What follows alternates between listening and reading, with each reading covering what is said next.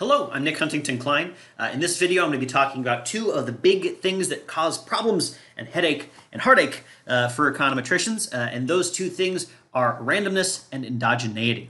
Uh, and these can lead us to two major kinds of errors uh, inference error and identification error. And these are the kinds of things that will make us wrong.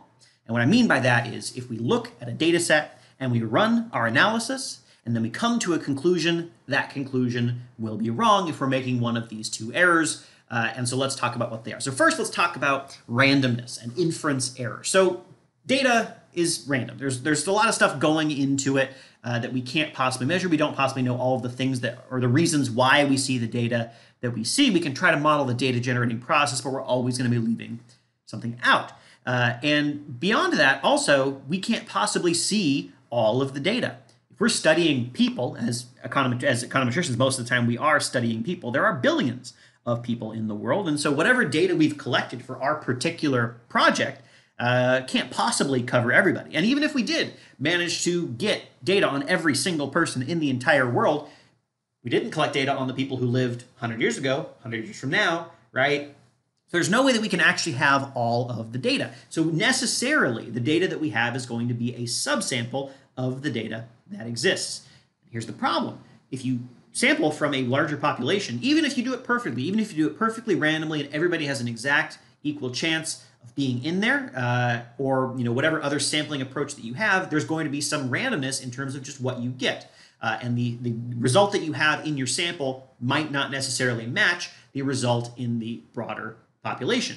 Uh, and that's just going to happen by random chance, right? If you flip a coin 100 times, you're not going to get exactly half heads. I mean, you might, uh, you know, but you, you're likely to get 51%, 49%, 60% occasionally, uh, 35%, right? Now, the more, the bigger your sample is, the, the less likely this is to happen, right? The more likely it is that the result that you get will be just like the result that you would get if you got the broader population. But still, there's going to be randomness in there. And whatever it is that you are estimating, it's going to be dependent on the sample that you picked. Uh, and you know, there's, there's going to be a possibility of inference error if that happens. So let's imagine, for example, that you are running a study about two variables that, in truth, in the population, are completely unrelated to each other. Right? So, in truth, the relationship between them is absolutely zero. Learning about the value of one of the variables tells you absolutely nothing about the value of one of the other variables. Just for argument's sake, let's say that it's a, that we're doing a, a study on one coin flip and another coin flip. I want to see, does this coin flip predict that coin flip? Okay. So obviously, in the population, in truth, in the true data generating process, the relationship between this coin flip and that coin flip is absolutely zero. Okay. But now think about this. If you collect a sample and you estimate the relationship between this coin flip and that coin flip, they're going to be positively related half the time. And they're going to be negatively related half the time because you're never going to get exactly zero right? You're always going to get a little bit above, a little bit below. Uh, and so that means that half the time we're going to be above and we're half the time we're going to be below. And so the, the, the, our, our ability to make a proper inference about what the relationship between this variable and that variable is, is going to be reliant on our ability to incorporate the randomness in sampling that we know is there into our estimation. To be able to say, okay, I found that there was a positive correlation, let's say, of 0.00001. That's a positive relationship. But being able to say, okay, 0.0001, that could well have happened by random chance, even if the relationship was indeed truly zero. Uh, and so that would be our way of guarding against inference error. So we know that there's randomness in our sample because we could not possibly sample the entire population. So it, our, our result is going to vary a little bit just by random chance based on the sample that we happened to get. That problem will be worse in small samples. It would be worse if our sampling procedure is not very good, you know, if we're, if we're sampling in a biased way. But if we're doing proper work with inference, uh, then we will adjust for all those things and we will say, you know what, that's close enough to zero that I'm going to say it's, it's, I can't tell if it's any different from zero. So properly incorporating for that randomness, accounting for that randomness uh, is going to help us avoid inference error. That's a thing, a problem that we need to deal with, and we need to be aware that in different samples, our result will be different.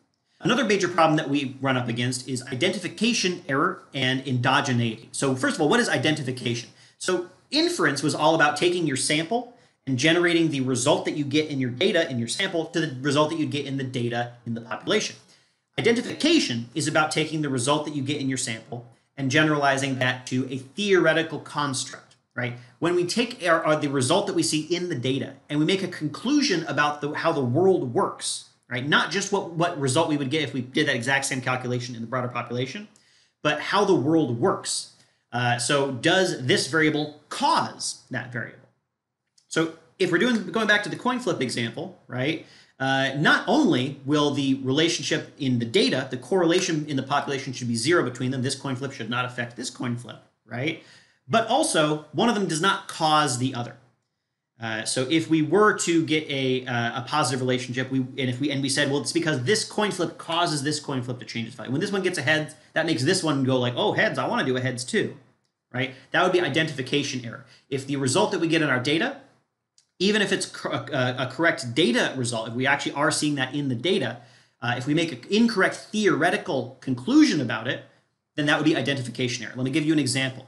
Uh, let's say we look in some data and we look at the relationship between how much ice cream people eat on a particular day and whether they wear shorts or not. You would probably see in the data that there, is a positive relationship between eating ice cream and wearing shorts. And that's not a problem of inference error. I bet in the population you would probably see that on days where people eat more ice cream, they also wear shorts. So no inference error there. The problem would be identification error if I were to say, oh, it must be that eating ice cream makes you want to wear shorts, right? That's probably not what's going on. Uh, we instead have that on a hot day, people are going to both wear shorts and eat ice cream right? So if I were to take that data and say it's probably because ice cream causes you to wear shorts, that would be an identification error. And we are committing that identification error because we have endogeneity in the system that we are not accounting for. What is endogeneity? Endogeneity occurs uh, when there is some other reason why our two variables might be related other than the theoretical one that we have in mind. So if we're saying ice cream causes you to, to, to uh, wear shorts, then the theoretical relate reason why those two variables are related that we have in mind is because ice cream causes shorts wearing.